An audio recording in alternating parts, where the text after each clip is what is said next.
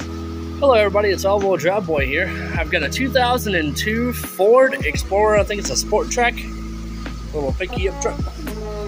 Uh, 2002 customer states they changed the alternator, put a brand new battery on it. Battery's about a year old now, but battery's holding charge.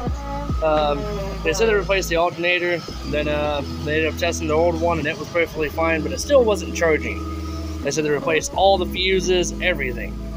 So I checked everything, double checked everything, and uh, I realized there was a fuse missing. I mean, we're charging at 13.9, you know, you know, 13.98 with the headlights on, the and the fan blower going. But uh, I noticed the number six fuse right there was missing. So if you actually take this fuse out, you can watch that. See if I get you a little closer so you can watch it. I'm gonna pull it out right now.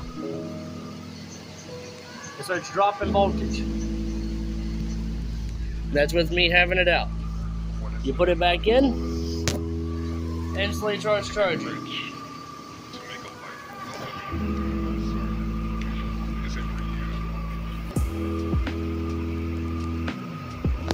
Beautiful. So number six fuse on a 2002 Ford. I'm pretty sure it's Explorer Sport Trac thing. I'm not for sure, but but yeah.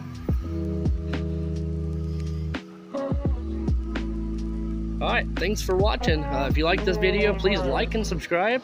Leave a comment if it helped you. Uh, but all right, well, thanks everybody.